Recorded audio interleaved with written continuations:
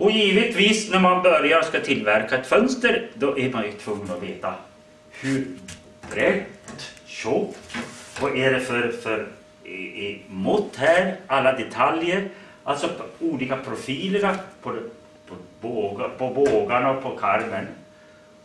Och det finns standard hur ett sånt här fönster är och skall vara.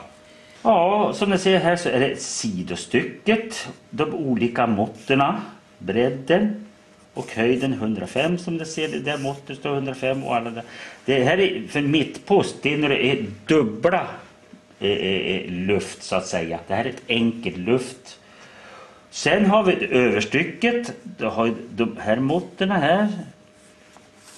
Det är hela bredden och hela tjockleken. Och så har jag understycket till karmen. Då. Så det är de här tre detaljerna som man måste veta innan man börjar ta ut virket och innan man börjar fräser. Ja, och det här då är innerbågarna. Och då ser det över, ö, över och understycket. Det ska vara det här måttet 45 gånger 32.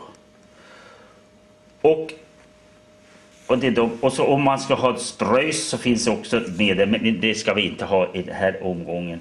Utan, då har du innersidobågen och här är ytterbågarna.